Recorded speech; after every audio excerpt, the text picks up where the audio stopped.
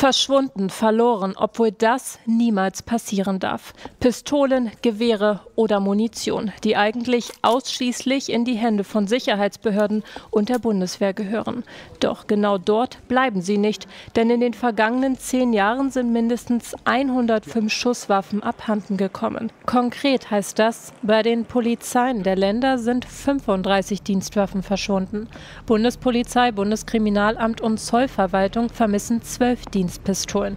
Mehr als die Hälfte der Verlustfälle geht auf das Konto der Bundeswehr. Unter anderem halbautomatische Pistolen, Schnellfeuergewehre und Sturmgewehre. Insgesamt betrachtet wird ein Teil der Waffen bei Wohnungseinbrüchen gestohlen, bei Einsätzen liegen gelassen oder kommt bei Truppenübungen abhanden. Die Frage, die sich dann stellt, in welche Hände geraten sie? Die innenpolitische Sprecherin der Grünen-Fraktion, Irene Mihalic, fordert, den Verlust ernst zu nehmen, macht auf die Gefahr durch Rechtsextremisten aufmerksam.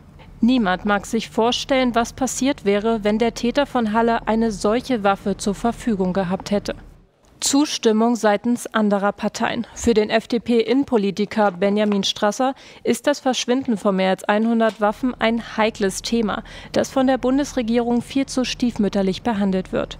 So habe man in der Vergangenheit mehrfach feststellen müssen, dass diese Waffen am Ende bei politischen Extremisten gelandet seien. Die Innenexpertin der linke Fraktion Martina Renner fordert Konsequenzen.